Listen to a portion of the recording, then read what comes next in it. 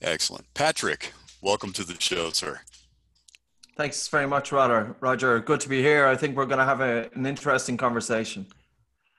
Oh, there's no doubt about it. And I appreciate you taking time. And for our listeners, just so you know, I'm actually talking to Patrick right now, and he's in Ireland and I'm in Boulder. And I just think that is so cool. So yeah, let's jump right into it, Patrick. I want to, I want to really help people understand some basics first about breathing and we're going to blow up a couple of misconceptions that are very prevalent in the community of first responders and a lot of the first responders listening to this show, these are folks that are seeking that next level. They're really trying to improve themselves. They realize that there are a lot of limitations within the training that they currently have. It, it can only take them so far.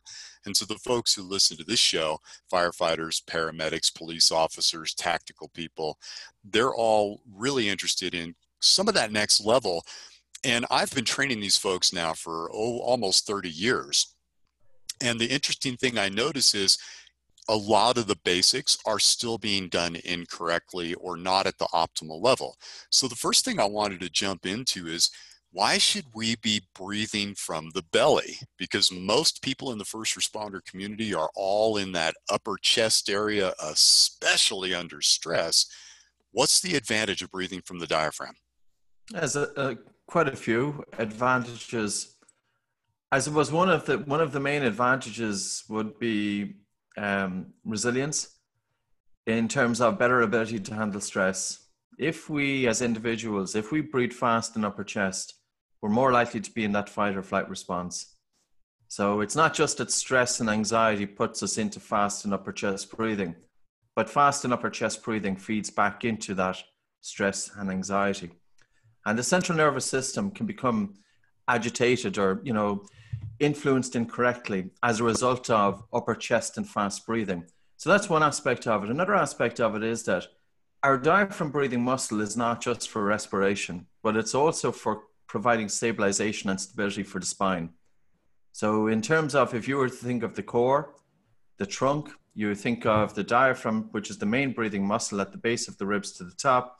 You've got the pelvic floor to the bottom, you've got the abdominals to the front, and you've got the spinal muscles to the back. And it's by breathing diaphragmatically that it generates what's called intra abdominal pressure. And this is for providing stability. And for example, a weightlifter, when they're lifting a weight, they'll typically breathe in, they hold their breath. As they breathe in, the diaphragm is moving downwards, and the abdomen becomes like a pneumatic balloon. So it's providing a bracing. So individuals with poor breathing patterns, they I would say that yes, very often it can affect the emotions. There's no questions about that. There is a link between the diaphragm and the emotions and also the speed of breathing to the emotions. It can affect posture. It can affect core strength. It can affect functional movement because your diaphragm, by generating intra abdominal pressure, which is influenced by the zone of apposition, which is a kind of a cylindrical area from the top of the diaphragm to the lower ribs and you need functional breathing, allowing the diaphragm to move back up to its resting position to increase the area of the zone of apposition, which in turn is going to increase intra-abdominal pressure. So it's like that the abdomen is literally a pneumatic balloon. So anybody involved in strength, um, anybody involved in athleticism, anybody who is, you know, in terms of functional movement, you can't have functional movement unless you have functional breathing.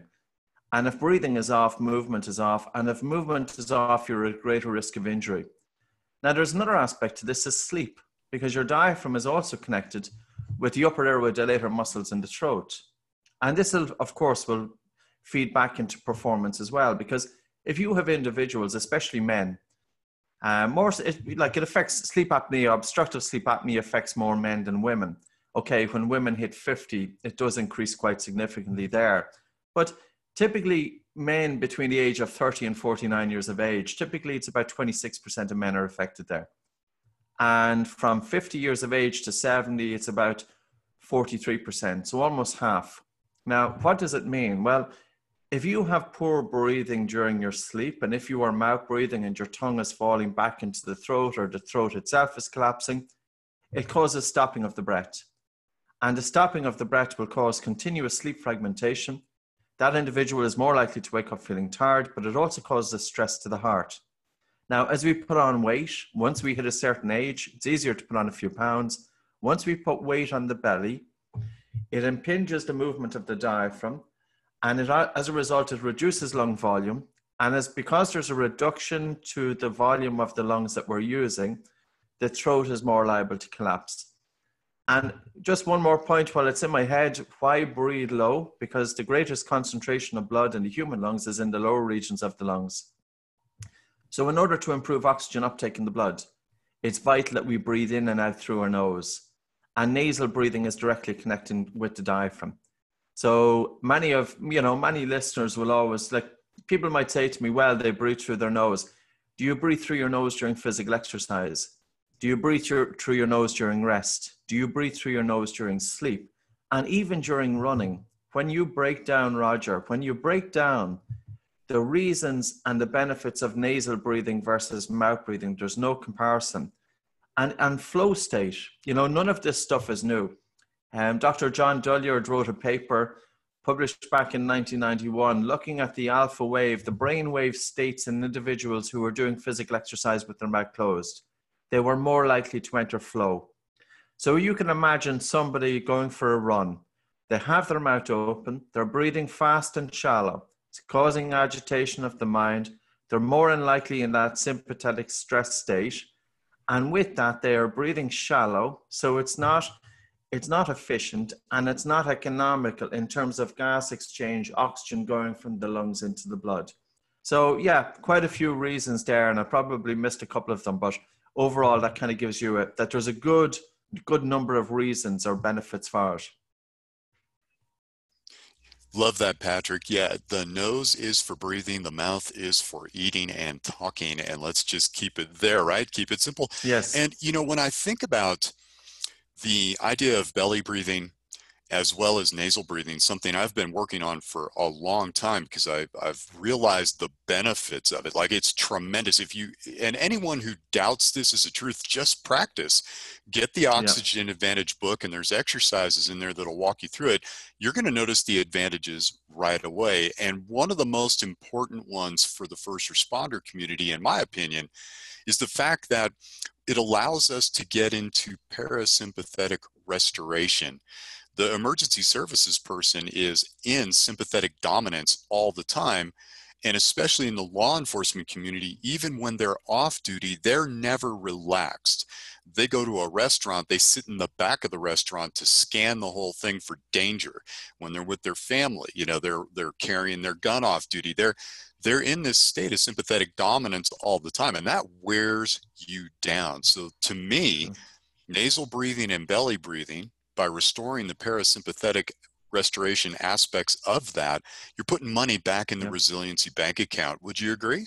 Yeah, absolutely. I don't think the human being we, we aren't able to cope with long-term stress. We we can't be switched on all the time. Eventually, it leads to a depletion of resources, burnout, exhaustion syndrome, which can be related to your breathing patterns. But in terms of the breath itself, through our breathing, we can activate the parasympathetic or the body's relaxation response. When we take a breath in, that's more sympathetically driven. So, on the inspiration, it's more sympathetically driven, and it's the expiration that's parasympathetically driven.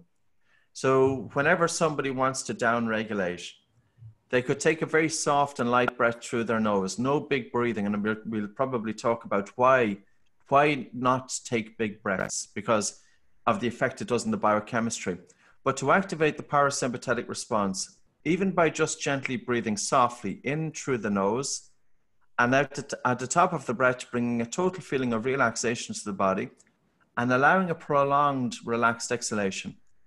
Because as you have a prolonged and relaxed exhalation, it stimulates the vagus nerve. And also, if you change the breathing rate down to 5.5 or 6 breaths per minute, during practice. So, say for instance, somebody has had a really tough day and they want to downregulate before they go to sleep. Because if they don't downregulate, their sleep is going to be screwed up. They're going to be lying in bed, their mind is going to be all over the place, their sleep quality is not going to be deep, they're going to wake up exhausted, and that's going to mess up the next day. So it's very important to downregulate for at least 15, 20 minutes before one goes to sleep to switch off. And the cadence of 5.5 to 6 breaths per minute, there are hundreds of studies backing this up for the last 30 years. None of it is new. Like there is a link between our breathing and what's called heart rate variability. That the heart rate variability is that the timing between heartbeats should be in random. It should be random, but in rhythm as well at the same time. And there's a connection between our breathing and the timing between our heartbeats, and that's called respiratory sinus arrhythmia. So if somebody was to locate their pulse, as they breathe in, they should notice that their heart rate is getting faster. And as they exhale gently, they should notice that their heart rate is slowing down, that the time between beats is getting longer on the exhalation. When we practice breathing 5.5 to 6 breaths per minute, it stimulates the vagus nerve, but it also influences pressure receptors inside the major blood vessels. So we have what's called baroreceptors in the aorta and also in the carotid arteries. And these pressure receptors are monitoring our blood pressure. When our blood pressure increases, these pressure receptors should automatically react by dilating the blood vessels and bringing down heart rate to normalize blood pressure.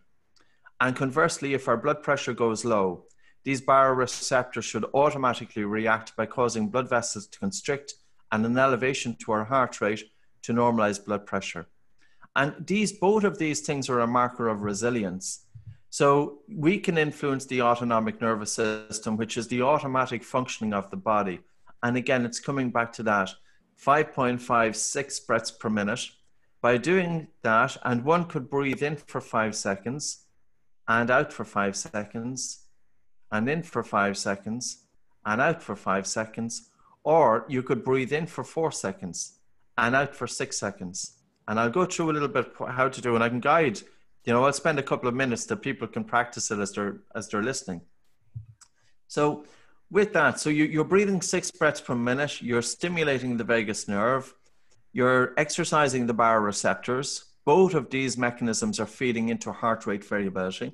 Heart rate variability is a measure of vagal tone or resilience because we as human beings, we need, need to be able to react and we need a balance between the parasympathetic, which is rest and digest, and the fight or flight response.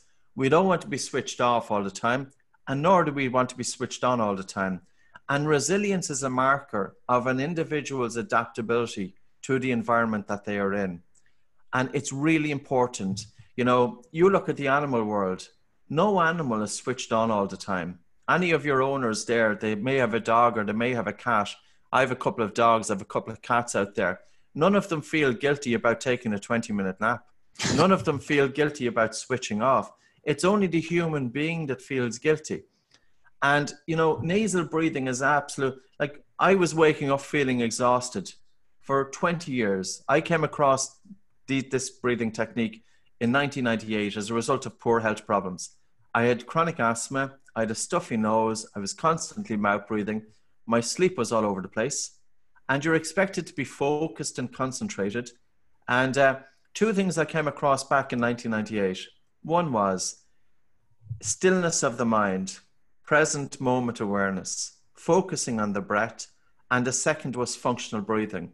Now, with that, then we also do breath holding to stress the body. So we, I suppose we have breathing exercises to down regulate, and then we have breathing exercises to up regulate. And there's a time and a place to do both. But for years, I was stuck in my head all the time, constantly thinking, and how on earth can we focus? Can we concentrate and have our attention on what we need to do unless we have the ability to train the brain to be concentrated? And that's why I would say focusing on your breathing is a good first step to that. And even make changes to your breathing, not just about focusing on the airflow coming in and out of your nose, but also about making subtle changes because we can increase blood flow, we can increase oxygen delivery, we can open up the airways, we can improve sleep, and we can influence the autonomic nervous system by making subtle changes to breathing.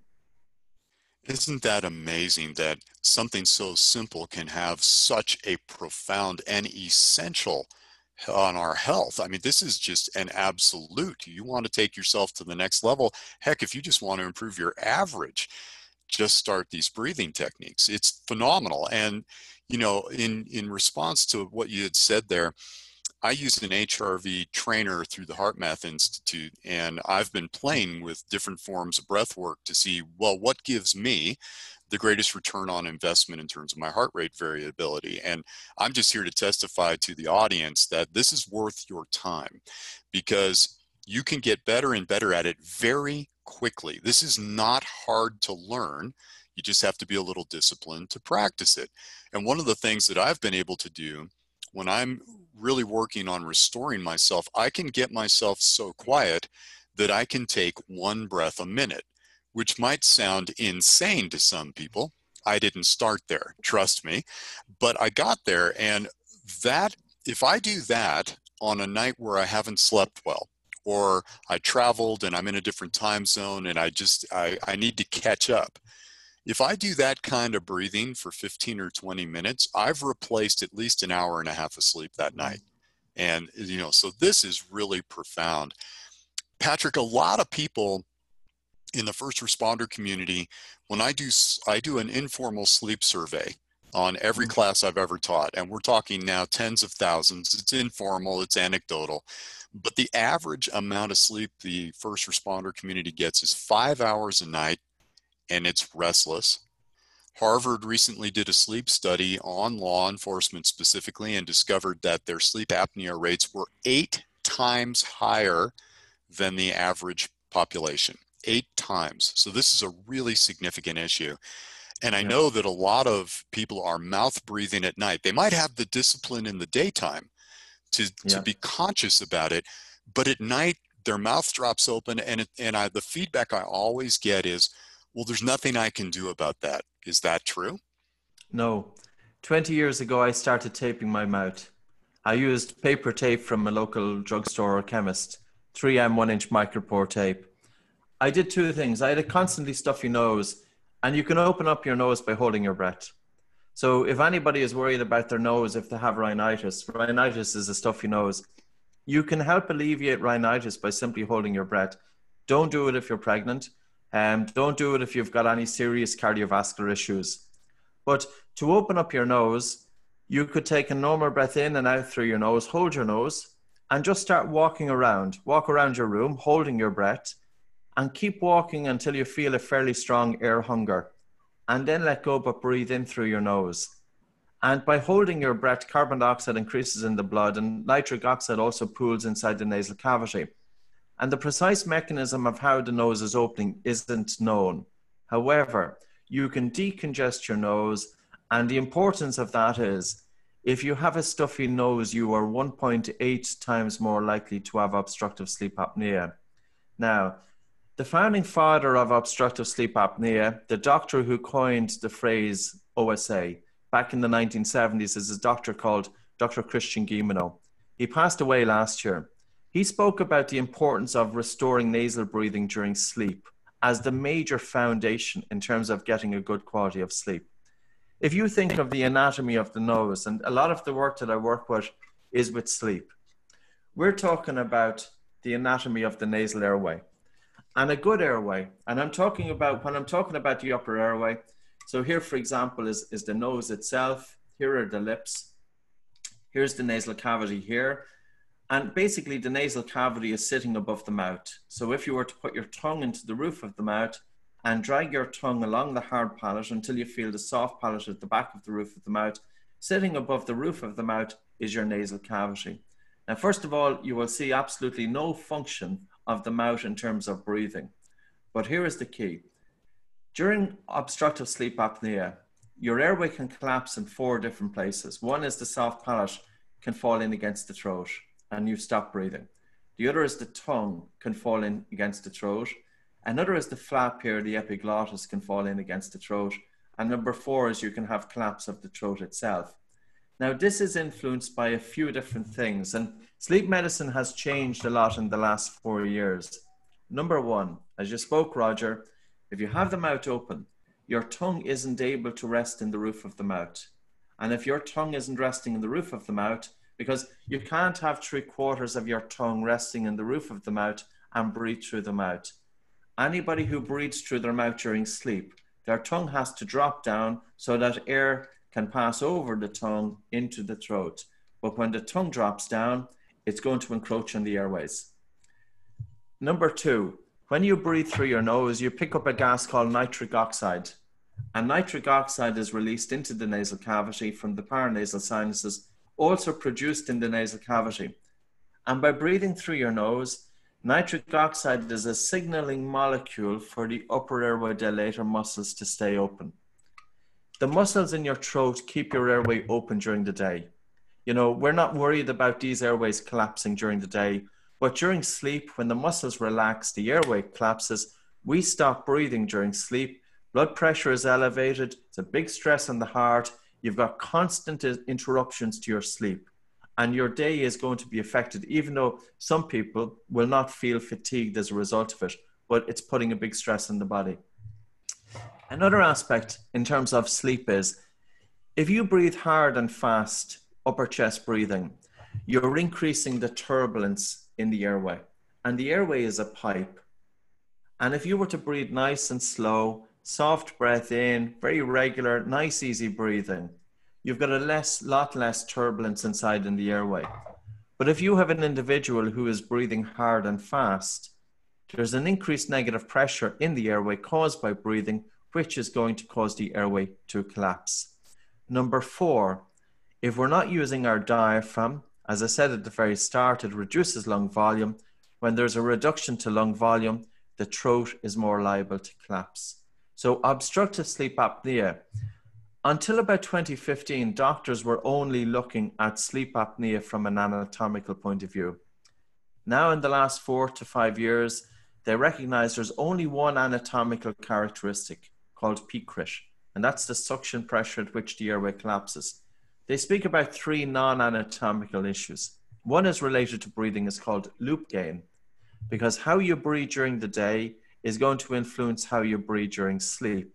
And if you have an individual who is breathing fast and hard during the day, that same individual goes home, they go to sleep, they're breathing hard and fast, and their sleep is all over the place. No one should ever wake up with a dry mouth in the morning. If your sleep is being disrupted, you're more likely to have to get up to go to the bathroom during the night. You're having sleep fragmentation, meaning that you're not getting down into that deep quality of sleep. And, you know, I'll show you like we, this is one tape that you could just get in a drugstore.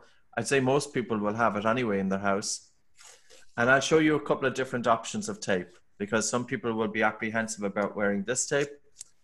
And you have your, you just take off about six inches or 10 centimeters. You fold a tab at one end and fold a tab at the other end and gently dry your lips. Mm-hmm. And that's one example. Now, another example that we've, well, we developed it actually for kids because children who outbreed, it can lead to craniofacial abnormalities in the ch- child's face because the tongue isn't resting in the roof of the mouth.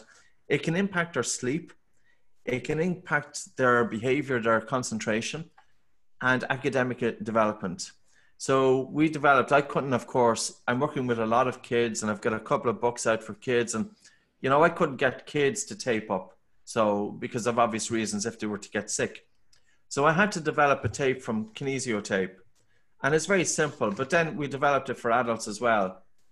And kinesio tape is a tape like this that you stretch around. It's developed in the shape to surround the lips, and you stretch it, and the pressure is brought, brings the lips together. And that keeps the mouth closed during sleep, but there's no risk. So for people who would be apprehensive about wearing the tape during sleep, one thing that I'll say about the nose is the more you use your nose, the better it works for you. Most people, when they feel that their nose is stuffy, they start going around with their mouths open.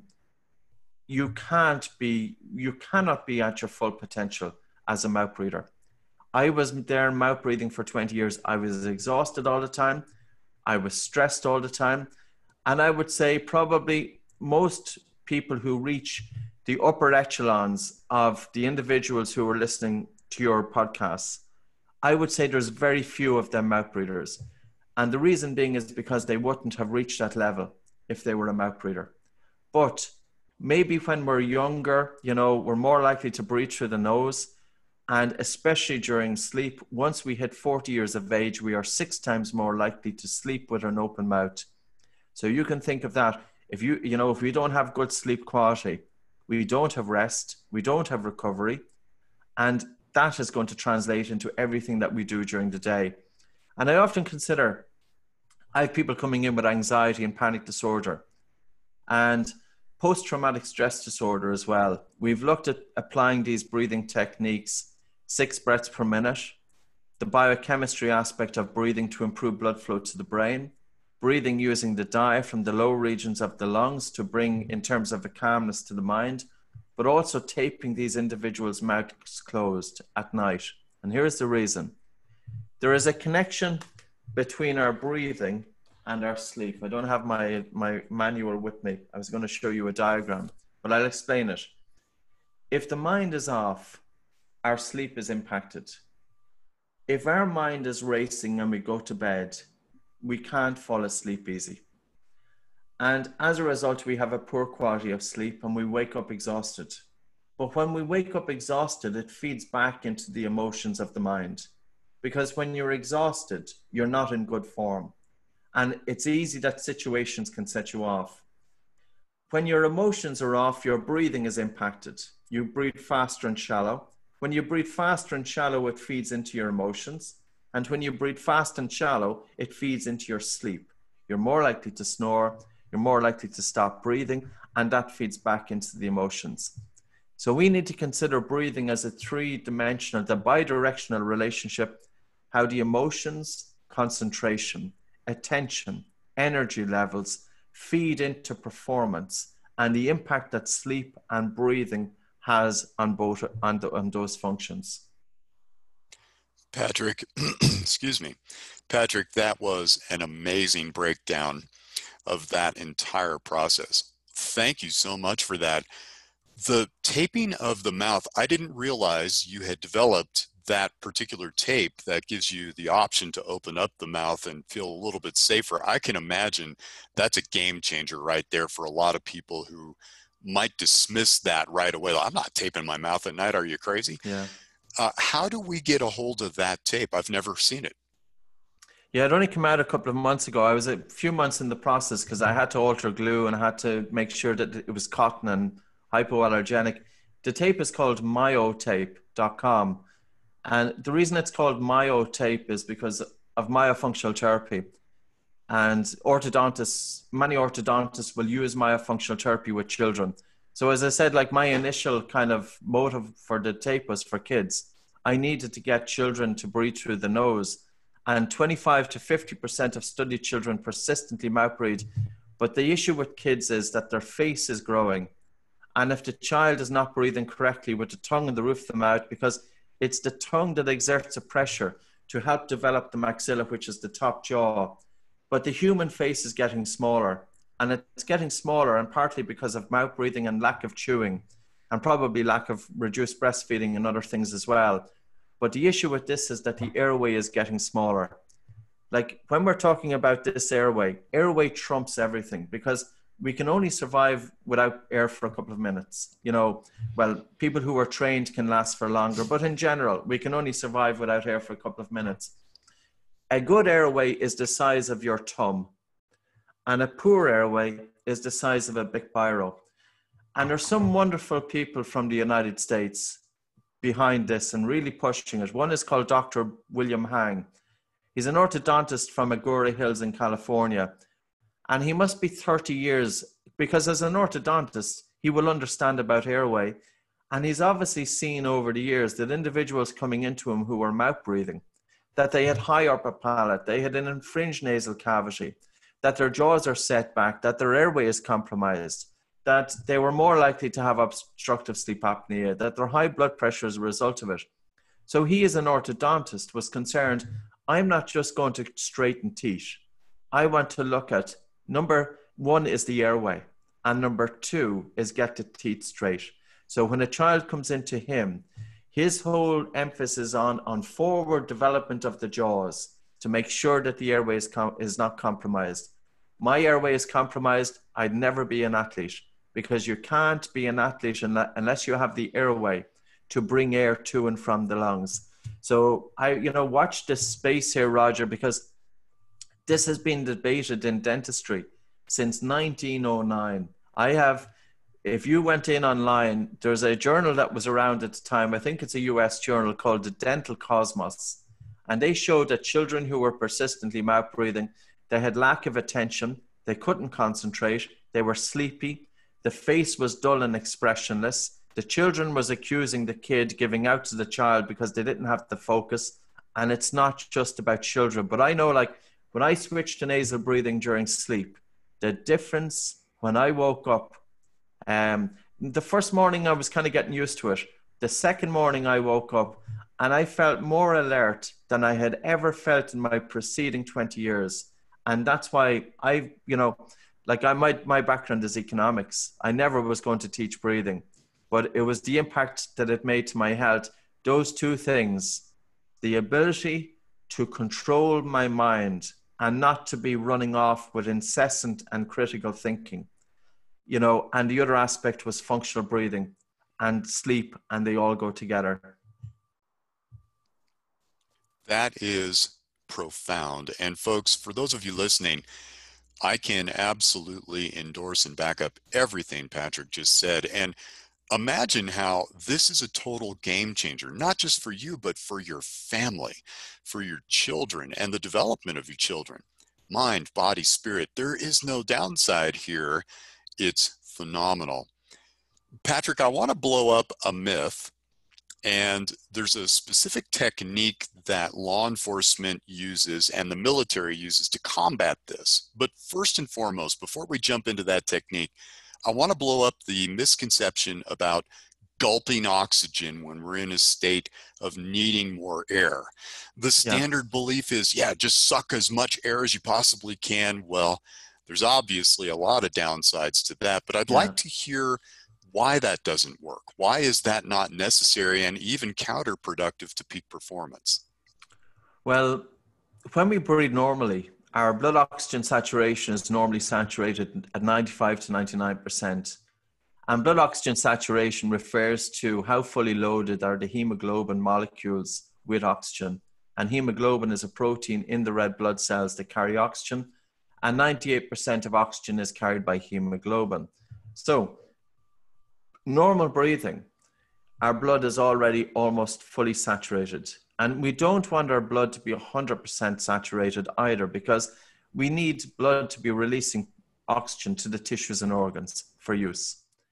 When we breathe hard, we are not necessarily increasing oxygen in the blood. Now, I, I will qualify that in a little bit. I'll go in a little bit more detail. But when we breathe hard, we are getting rid of too much carbon dioxide from the blood. Carbon dioxide is not just a waste gas. In actual fact, first responders up until the 1930s in the United States had canisters of carbon dioxide in their trucks. And it took the work of one medical doctor by the surname of Waters. And he said that carbon dioxide is toxic like urine. And as a result, carbon dioxide got bad press. But carbon dioxide before that was used because what does carbon dioxide do? It's not just that waste gas that we talk about, even though we breathe to get rid of excess CO2. Carbon dioxide is a vasodilator. Many people who breathe too hard, they have a habit of over breathing during the day, during sleep, during exercise. If you breathe too hard during the day, you are going to gas out too soon during physical exercise. Hard breathing is blowing off too much carbon dioxide the loss of CO2 is causing blood vessels to constrict.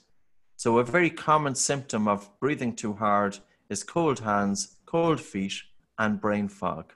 Some of your listeners will identify with that. They may be going around with their mouth open, they're breathing fast and shallow, and they notice they have cold hands. It's not just that the blood vessels in the hands are constricting, but we have about 70,000 miles of blood vessels throughout the human body. Our entire blood circulation is affected by the volume of air that we breathe. So, you know, this hard breathing idea that we see it, and we see it literally everywhere. We hear it in yoga, for example. You know, we hear it in Pilates. We hear it in different gyms and different techniques. It doesn't make sense to breathe hard because if your body, if your blood is already almost fully saturated, breathing hard isn't increasing that, but instead, breathing hard is getting rid of too much carbon dioxide. And not only are your blood vessels constricting because of the loss of CO2, but also the bond between oxygen and the red blood cells becomes tighter. And this is known as the Bohr effect. This was discovered by a Danish physiologist in 1904. And he said that the pressure of carbon dioxide in the blood, it's the pressure of carbon dioxide in the blood and the resultant blood pH that's a catalyst for red blood cells to release oxygen more readily to the tissues. So I suppose the best way to think of it would be this. And if people want to look a little bit more into it, look at the Bohr effect, BOHR, look at the oxyhemoglobin dissociation curve, that when you breathe hard, the curve shifts to the left and your red blood cells hold on to oxygen instead of releasing it. Now, so here might be the question. Well, somebody might say to me, well, I'll give you this example. I remember being in a, in a hotel a few years ago. I was doing some training course there. And this is probably going back 10, 12 years ago. And this man started having a heart attack inside in the hotel. And uh, I, you know, I was there, but I wasn't the first on the scene or anything like that. But there were a couple of nurses from the local hospital there. And I just watched from a distance what the nurses were saying to the man. They were telling him to breathe hard, breathe big, breathe deep. And they were getting him to hyperventilate. Now, this is unfortunate because hyperventilation, and this has been written about in various medical journals, if you hyperventilate, it reduces blood flow and oxygen delivery to the heart. So it was the wrong thing to do. It was also putting him into a stress response. But I understand their motive. Their motive was good because they had a belief that if I can get this individual to breathe hard, I'm going to improve him. However, if I was in that situation and you come across somebody, immediately I would put my hands on their either side of their lower ribs and I would ask them to breathe in two, three, four, out two, three, four, five. In other words, when we consider the shape of the human lungs, we have to consider that the greatest blood flow is in the lower regions of the lungs. I need them to breathe slow, but I also need them to breathe light because I don't want to get rid of too much carbon dioxide, but I also want them to breathe deep. And that will improve gas exchange. And this has been looked at in terms of individuals going up into altitude. Like there's been studies on it in terms of individuals that were at a height of about 5,000 meters, which is a fairly considerable altitude. Their blood oxygen saturation at that height was down to 80%. They got the individuals to breathe six breaths per minute with lateral expansion and contraction of the lower ribs, and it increased their SpO2 from 80% up to 89%. I remember a woman coming into me with chronic heart failure I was having her go for a walk in my office, and we used pulse oximeter as well. And she was dropping down to 92% going for the walk. How was she breathing? She was breathing fast and shallow. And if you think of the human airway, if we're breathing fast and shallow, we're wasting an awful lot of air in dead space. We're not improving or increasing what's called alveolar ventilation.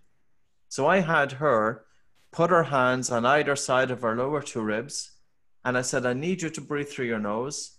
And I need you to breathe in two, three, four, out two, three, four, five. And I kept that going. And her blood oxygen saturation came up from 92% to 96%. So from just on the verge of mild hypoxia, just inside normal, normal blood oxygen saturation. So we can influence that through our breathing. But if I was to say to her, I want you to start breathing hard and fast, it's not going to have that impact. But the thing is, when people are stressed, they feel the right thing to do is to breathe fast and shallow. But fast and shallow breathing, it's uneconomical, it's inefficient, and it's not improving blood oxygen saturation. Beautiful. And so I want to follow up with that specific to the first responder community and peak performance. So, as you know, they get the call and they don't get time to warm up, to stretch, to practice. Right, you go from zero to 100. That might be running yes. into a burning building, pulling someone out of a car, chasing a suspect, or even fighting hand to hand combat for your life. Yeah. So, the one breathing technique that has been predominant for the last couple of decades, both in the military and, and usually what happens in the military makes it to law enforcement or first responder communities. And that is, it's called combat breathing or box breathing. And the box breathing, just for folks listening who may not be familiar with it, you inhale, you hold, you exhale, you hold, and you try to do that in the same pentameter. If you inhale for a count of three, you hold for a count of three, etc. First and foremost, what do you think about box breathing, and can we improve upon that model, or is that one of the best ways to get ourselves back into a normal place where we can actually deal with the emergency? It's an interesting breath. Um, if you were to breathe in for four seconds, now I'm assuming individuals are using their nose, but breathing in for four seconds and holding, it's giving enough time for oxygen to transfer from the lungs into the blood. You're breathing out for four seconds. So during that time, you're breathing out. You could say, yeah, prolonged exhalation is activating a parasympathetic response. But then you hold for four seconds Nitric oxide during that time will pool in the nasal cavity, and carbon dioxide will increase in the blood a little bit. And then you breathe in for four. You're carrying that nitric oxide from your nose into the lungs, and the increased carbon dioxide is causing oxygen to be released from the red blood cells to the tissues. An interesting exercise. Um, would I improve it? Well, you know, I'm not to be the one to say, but I'm going to give you what I do with pre competition with MMA fighters going into a ring. I used it first with presentations that I was giving with public speaking.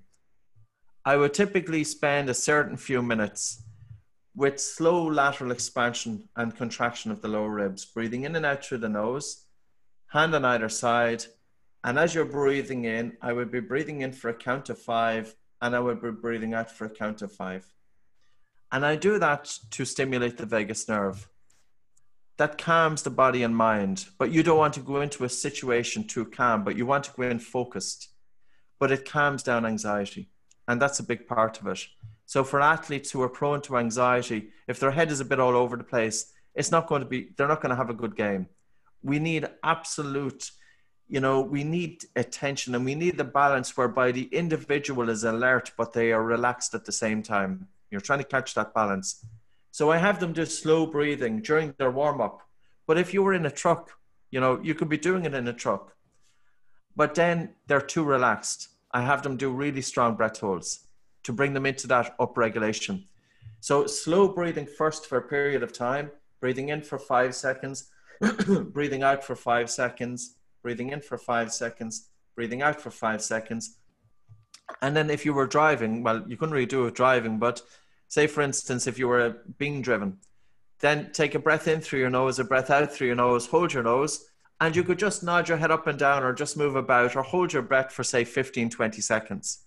Do a couple of easy ones and then wait about 30 seconds and then breathe in breathe out and hold your breath and hold your breath for as long as you can. Hold your breath for as long as you can let go and breathe. Breathe for 30 seconds to a minute do it again and do a couple of repetitions of that. Why Number one is if you hold your breath for more than 30 seconds, your spleen contracts, and your spleen contains 8% of your red blood cells. And if you do five maximum breath holds, your spleen is going to release red blood cells into circulation. So that's one aspect. Number two, when you do a long breath hold, you are increasing blood flow to the brain. So it's not that when we do a long breath hold, it's not that blood oxygen, it's not that the oxygen delivery to the brain drops. Because what happens is that when we do a long breath hold, yes, carbon dioxide, sorry, oxygen levels can drop a little bit during that time, but carbon dioxide is going to increase. And it's the increased carbon dioxide which is going to open up the blood flow to the brain, but also cause a right shift of the oxyhemoglobin dissociation curve, so more oxygen gets delivered. So it's an upregulator. So I suppose I want to have calmness of the mind on one hand, but I don't want to be too relaxed and then we stress the body by doing the longer breath holds. So I think box breathing is a kind of a variation of that to some extent. But I'm going from a really calm state to a stress state. I'm going out there. The other thing about doing strong breath holds, it opens up your nose. It'll help open up your lungs. And, you know, it's not the time to start doing breathing exercises is, is not en route to the emergency. The time the time to start doing breathing exercises are when things are going pretty good. And then you can tap into this. And it's a tremendous resource because your breath is always that constant companion that you have. And by taking your attention out of the mind onto the breath, that you you're able to harness that your your attention is moving simultaneously with time. Some people will call it the flow, or they call it the zone, or present moment. It doesn't matter. It just means that you have the focus to have full capacity to be attentive. And one my point to in case I forget, Rodger, individuals going into a burning building, they're wearing a tank of gas on, on their back.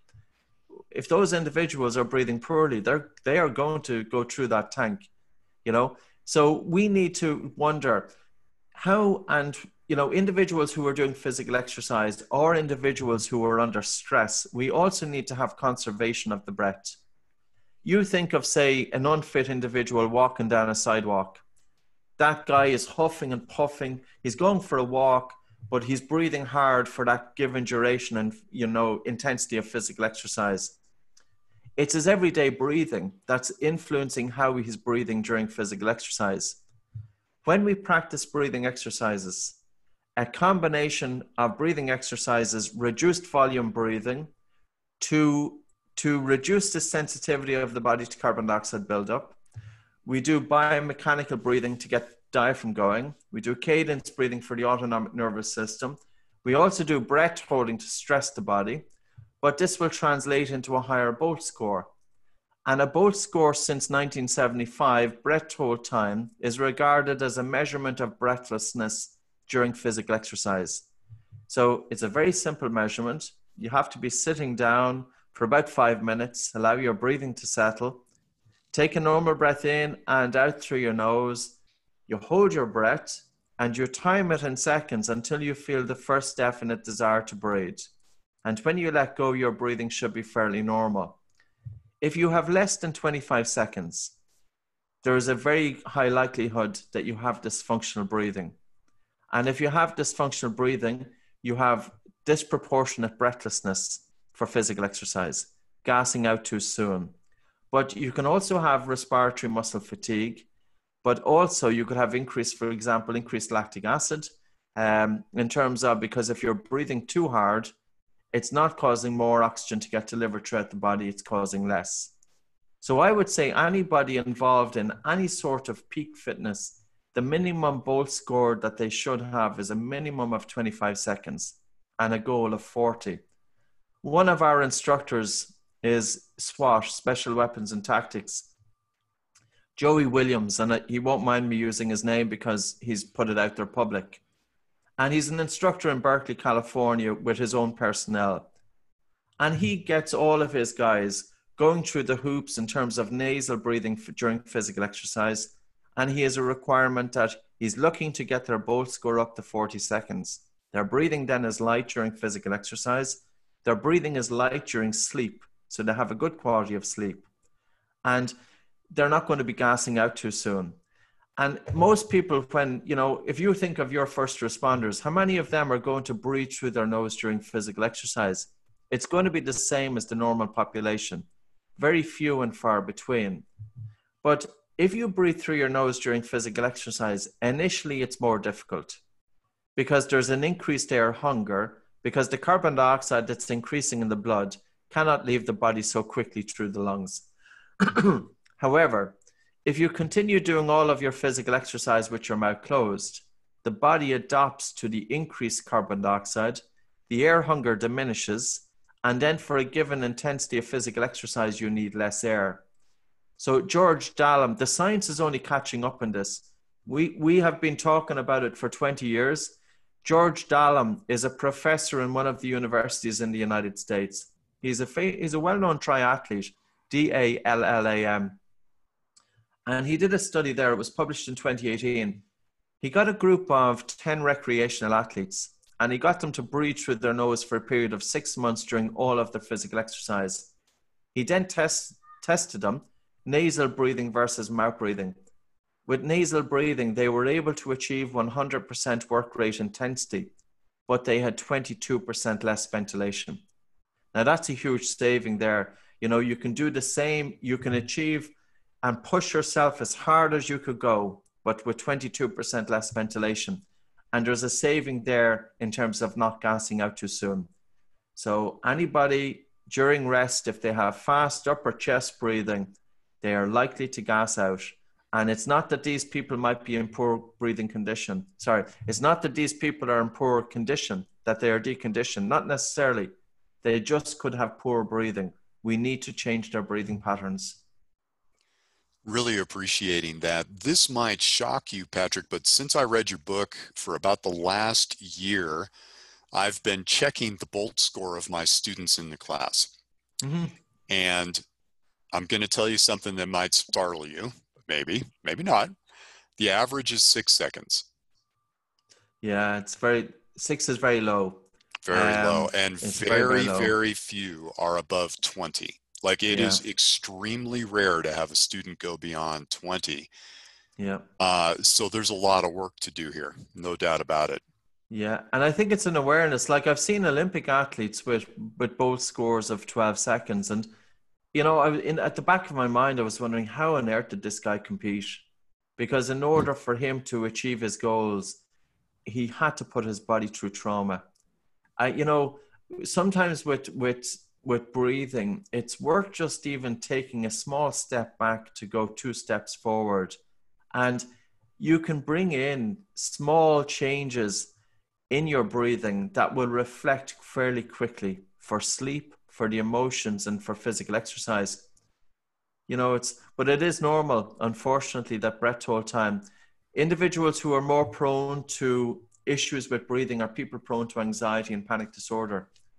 And also people who are prone to, say, early asthma as kids. They had childhood asthma, even if they grew out of asthma, there can be still an underlying issue there that can be causing their breathing to be a little bit labored. But that can be all that can be trained and it can be trained once the person has has an awareness of you know reducing their breathing volume. So i would say to your listeners is sit down into a chair put one hand on your chest put one hand just above your navel and follow the airflow coming in and out of your nose. And now start gently slowing down the speed of your breathing. And slow down the speed of your breathing to the point that you feel hardly any air coming into your nose so really slow it down your breathing to the point that you feel hardly any air coming into your nose. And at the top of the breath, bring a total feeling of relaxation to the body so that you're having a relaxed and gentle breath out. Then, when you need to breathe, take a very soft and light, gentle breath in. At the top of the breath, bring a total feeling of relaxation to the body. Do that for four or five minutes. Check the saliva in your mouth and check the internal temperature of your fingers. What you will have done there is by slowing down your breathing to reduce the volume of air that you are breathing into your body, you should feel a slight feeling of suffocation. But that slight feeling of suffocation is indicating that carbon dioxide is increasing in the blood. And as carbon dioxide is increasing in the blood, your blood vessels dilate. But also, your mind is more likely to be anchored onto the breath when you have a feeling of suffocation. So, in terms of mindfulness and anapanasati, the mind can be likely to wander. But in terms of the feeling of suffocation, the mind is more likely to be focused onto the breath. And it does activate the parasympathetic response by virtue of increased watery saliva in the mouth. Now, I would like people to give that a go. Can you influence your blood circulation through your breathing? And that's looking at the biochemistry of the breath. Then, if you're breathing upper chest, place your hands either side of your lower two ribs, sit back, and as you breathe in, just gently, that as you breathe in, you're feeling your lower ribs moving out, and you want to have your hands either side, and not to do it by hearing your breathing. So, as you breathe in, your ribs are gently moving out, And as you breathe out, your ribs are gently moving in. And as you breathe out, allow your diaphragm to move back up to its resting position because this main breathing muscle here is absolutely essential to help avoid, you know, using the diaphragm for functional movement, reduced risk of injury, and reduced risk of lower back pain. And individuals who are prone to lower back pain, very commonly, they are breathing faulty in upper chest. And I'm writing a new book, and that's why all of this information is kind of fresh to my head because I'm kind of going through functional movement, back pain, heart rate variability, type 1 diabetes. So we're looking at the oxygen advantage, but at a greater kind of, you know, spreading it out and trying to put genuine. I'm not, it's not like anything that I have to put together. I have to be able to show that I can back it up as best I can. Now, sometimes the science is only catching up, but, you know, in terms of we can generally join the dots together. And I think some of the best ways to um, to determine the truth in terms of breathing is to put it into practice. If any of your people have stuffy noses, once they're not pregnant or once they don't have any serious kind of medical issues, take a normal breath in and out through the nose, pinch the nose and walk holding the breath. And they could even count the number of paces that they're holding their breath for. That's called the maximum breathlessness test. And both of the tests are on our homepage of oxygenadvantage.com. So the BOLT score is there and the maximum breathlessness test. The maximum breathlessness test, if I have an athlete coming into me, I need them to have a BOLT score minimum of 25 seconds and a goal of 40. And a maximum breathlessness test, a minimum of 60 paces and a goal of 80 paces. So it doesn't happen overnight, but we know that when they can improve their BOLT score, their breathlessness during physical exercise is less, they are breathing slower, they're more likely to breathe using their diaphragm, their sleep, emotions, and physical performance is better. And then the maximum breathlessness test would be something akin to, you know, not quite measuring repeated sprintability, but repeated sprintability would be a very good performance indicator for for military, for police personnel. I could only imagine that if you had somebody is running after somebody, but then they lose them, they've got a very brief recovery before they have to run off again. So it would be like you know somebody in MMA. You know, you're, you're there's a burst of high intensity. There's a very brief recovery before a burst again. So repeated sprintability is how many reps can you go at full intensity before exhaustion? And we have used exhaling, exhale hold technique. In other words, to give you an example of how you could do this, this is not for pregnancy either, by the way. Take a normal breath in and out through your nose, hold your nose, start walking, holding your breath. Then walk faster, then go into a jog, go into a run, go into a sprint, holding your breath. Keep relaxing into the body when it gets difficult, let go, breathe in through your nose, but minimize your breathing for about six breaths or so to prolong the hypoxic hypercapnic response. And then have normal breathing for about 12 to 18 breaths. Now, it's safe because we are not hyperventilating before the breath hold. So, blood oxygen saturation typically will go down to about 85%. Carbon dioxide increases to plus 50. This disturbs the blood acid base balance that we're stimulating anaerobic glycolysis at a far stronger degree than high intensity interval training. And also, there's less trauma because you could even do it as a jog. And what we're doing is we're provoking the body to make adaptations. And I will give you an example using this with elite professional rugby union players who are they're professional guys, so they're at the top of their fitness. In four weeks, divided they were divided into two groups. One group was doing 40 meters sprints on a breath hold with a departure every 30 seconds. And the other group was doing their normal anaerobic training. And after four weeks, the group who, who were doing the breath hold training, their repeated sprints increased from 9 to 14.8 before exhaustion. And the control group, who were doing high intensity interval training, they increased from 9 to about 10.2. It was marginal. Now, normally at, at an elite or professional level in terms of athletics, If you can get a 1% or even a half percent improvement, that's significant. But to be able to improve a performance indicator such as repeated sprintability from 9 to 14.8 just in four weeks, and it was only by doing two sets a week over, and the last week was three sets. So I suppose, Rodger, it's, you know, you're looking at functional breathing. I'm looking at how is the person breathing when they're at rest, when they're asleep, when they're doing physical exercise, and get the foundation of functional breathing right because we can improve oxygen uptake, we can improve blood circulation, we can help open up the airways, we can influence the functioning of the autonomic nervous system, we can down regulate, but also do breath holding to stress the body. And that's an upregulator and to force the body to make adaptations. And I'm not saying it's a cure all, but I've spent 18 years looking and putting, and there are sufficient there's sufficient papers and studies out there now to show that yes, you can impart these benefits. Patrick, I'm super appreciating that breakdown. And, you know, for this audience, they start with cynicism and skepticism. It's just how they approach life. So, my sure. advice to everyone is go do it. Get the book, yeah. Oxygen Advantage, and go practice. And what you're going to get is what I got for sure immediate, tangible result.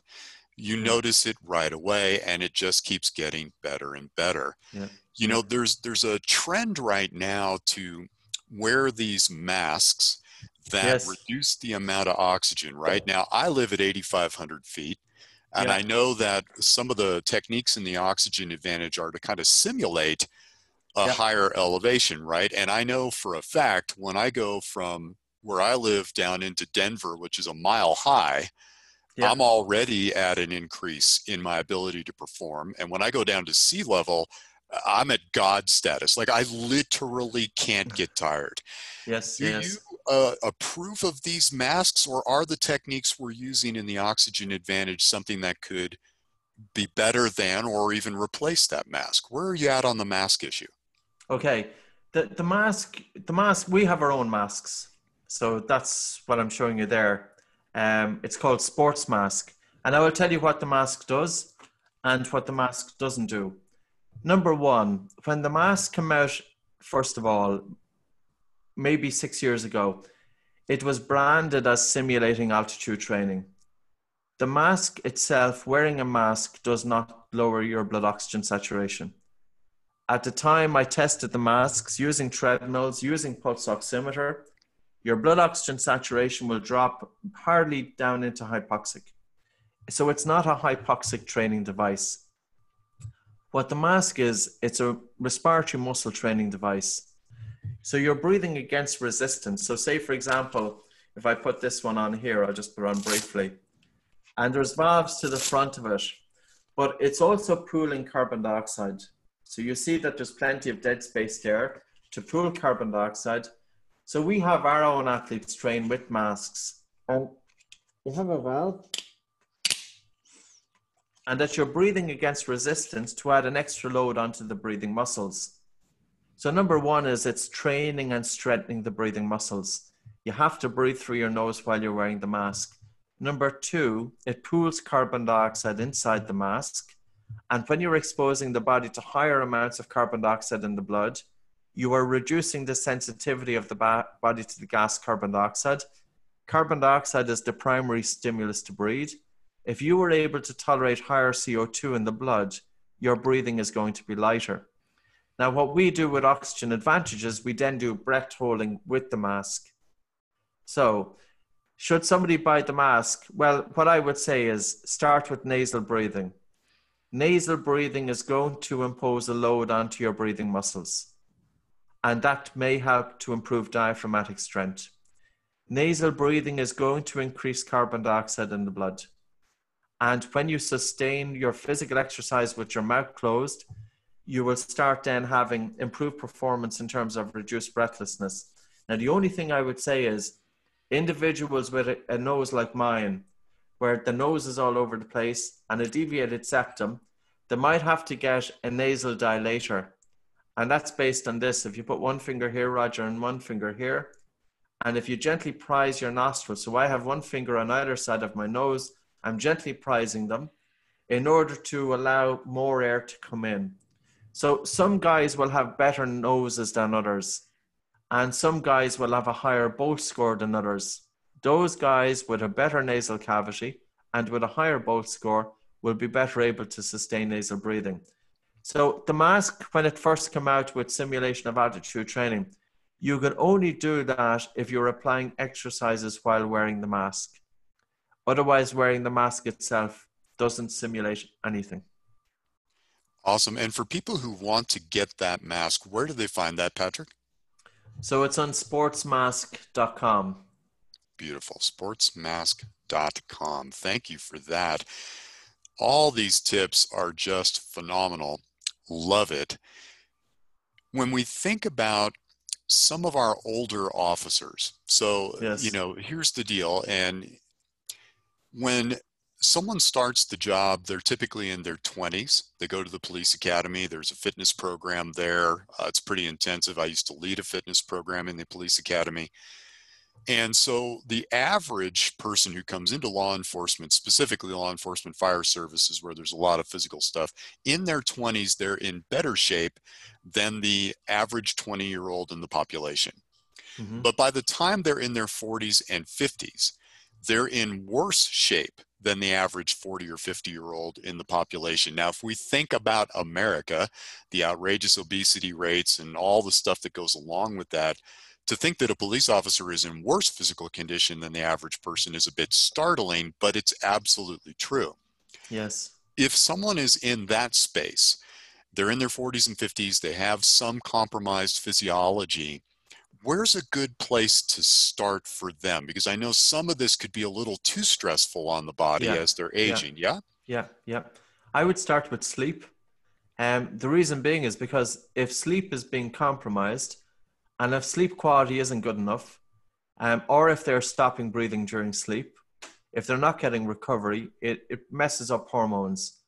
And one hormone is called ghrelin, and ghrelin is a food stimulant. So if you have an individual with obstructive sleep apnea, it, it's more likely to happen that age category, and especially when we put on a bit of weight. Like I'm nearly 50. So I'm in that age category that I have to be conscious of breathing through my nose during sleep, slow breathing and light breathing. So it's a vicious circle. You have disrupted sleep, then you're craving food the following day, you eat more food, you put on weight, and that messes up your sleep. And then, of course, when we put on a bit of weight, the breathlessness is more likely because we're carrying an extra load. You know, it's like some guy said to me, Well, if you're three or three or four stone, I, I don't know what your metrics are in the States, I can't remember. You know, it's like you have a you're carrying two spare tires around your midriff, and that's going to increase breathlessness. What I would say is for that group is get start breathing through your nose first during sleep. Really, really important. Have your tongue resting in the roof of the mouth.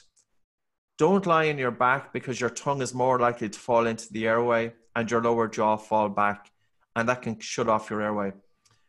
Go for walks even fast walks, or even if you haven't exercised or it's been a while, go for a jog with your mouth closed for one minute, and then walk with your mouth closed for one minute, and then jog with your mouth closed for one minute. It's all about starting off very, very basic steps because if you can enjoy it, you'll stick with it. And then when you have downtime in the evening, sit back into a chair, put maybe your attention onto your breath and start slowing down the speed of your breathing and see if you can influence your blood circulation and down regulate before sleep. And I would say to people as well don't live your head stuck in a phone. It is crazy that these big corporations have commanded and consumed so much time of everybody now in the Western world. And it's taught that up to two and a half hours of our time is consumed by looking into a phone. I'm very selective to the best that I can.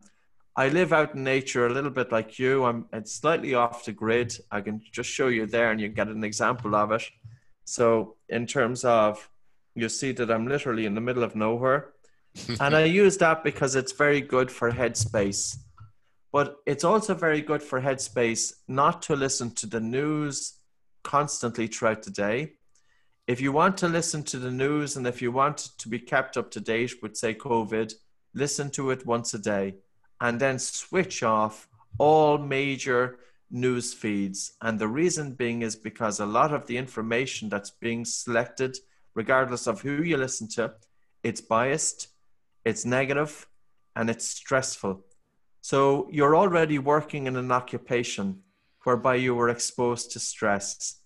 And why, in your downtime, look into a phone and expose yourself to more stress? Instead, give yourself some attention.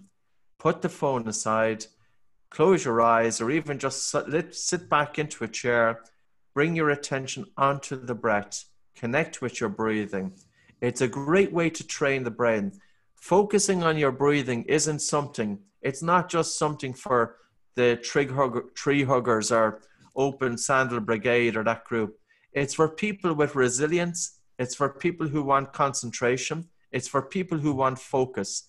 Because if your mind is all over the place, you are not going to have the attention and the quality of detail on the task, and the likelihood of making mistakes increases stress is increasing. So we need to train our resilience. And focusing on the breath is that one thing that we can do. So, yeah, so somebody of the same age as me, I would really look at sleep. That was the biggest thing, the easiest thing to make the biggest difference. And then, like, I'm not an athlete, so I will do physical exercise. I get in an hour today, all with nasal breathing. And initially, it's a bit tougher and you want to challenge yourself, but you don't want to feel stressed. So if you feel a bit stressed, back off a little bit. And I'd say gently build it up. If you wanted to increase the intensity, increase it by no more than 10% each week. And when you start noticing your BOLT score increasing, your breathlessness during physical exercise is decreasing, you'll enjoy it more, and then you're more likely to stick with it. Love that. That is absolutely awesome. What a great summation. Patrick, I know we're getting toward the end of our time together, and I just wanted to give you the last word. Is there anything that we haven't covered that you think is important for this population of people to know? I think the only thing, you know, in terms of is put it into practice. Hmm. Um, we're not selling it, you know, there's nothing to be sold here. It's it's really about something that you carry with you. You carry your breath with you all day long. Pay attention to your breathing, and if you notice yourself breathing fast, mouth breathing, upper chest breathing, or sometimes people will complain as I just feel that no matter how I breathe, I just feel I can't get a satisfying breath. Your breathing should never be effortful. Breathing should always be effortless. And if you feel that you're falling into that category, that your breathing is a little bit fast, is a little bit upper chest, you're gassing out during physical exercise, really start making changes to your breathing. And some of the tips are in this in this podcast. Play it over a couple of times. You'll pick it up and uh, start with that. Absolutely. And how do people get a hold of you? Where are your resources available for folks? So for those who oxygenadvantage.com, so oxygenadvantage.com is our main website. And if you go to about and then go to science, you'll see that I've put up many different articles in terms of what we do. And you'll see where we've put the papers there if people wanted to dig a little bit deeper into it. Um, so yeah, there's different things there, resources there, and I give master classes as well. Two our master classes they're $95 but you know they could be useful as well for people and they're not overly expensive for people really to get you know a good foundation of what what we we teach $95 for a detailed Two look hours. into your wisdom unbelievable unbelievable price love that one last question for you patrick how sure. many years of knowledge is condensed into the oxygen advantage book um, it was four years in the making, and but before that, I had been working with working with individuals um, since 2002. So I started writing it back in 20, 2011. I had a, a physiologist come over from Sweden, and I said I'd love to be putting this in. Part of it actually was Rodger. We had a terrible econ- economical situation here in Ireland because of banks and because of politicians that weren't up to the mark there was huge anxiety. and I was giving mindfulness courses, but I had 3,000 people come in doing mindfulness courses from 20, from 2010 or 2009 up until about 2012, but none of them were men. And eh, when I'm saying that, I'm saying maybe 5% of them were men, 95% of them were women. And I was thinking the man that was most messed up and the man that was at the greatest risk in terms of, you know, the, the loss of control of their mind. But why weren't they doing breathing? And it was because the word mindfulness is putting them off. They did breathing exercises, they don't want to know about it. And part of that reason that it just kind of evolved, oxygen advantage was for the athlete. It was like if I would go into a rugby team, these guys don't want to know about breathing. But what I'll do is I'll put them through the ringer and they I'll turn them blue. And then they know that there's something in it. Because too often we feel that breathing is just one of those things that it's for a bunch of wimps or whatever. And I tell you one thing, put put them in front of me and I'll put them through it. They'll have a different opinion at the end of it. But but we we tie in we tie in focus and concentration with that because we don't want just to have performance in the physical capability. I want to have performance for sleep. I want to have performance in influencing the autonomic nervous system. And I want to have performance of the mind. And we can do that through the breath. Amen, Patrick. Amen. Folks, here's the deal. Patrick's been a, on an 18 year journey to get you this book, The Oxygen Advantage, for a few bucks and for you to be able to use a little bit of your time. We're talking about a game changer here. We're talking about changing your body, your mind, and your spirit through something as simple as breathing, which you have to do all day, every day, any day. Why wouldn't you want to do it to get the maximum return on that investment? And you want to thank an author, here's how you do it. You get the book, and then you go to wherever you bought that book and you leave them a review.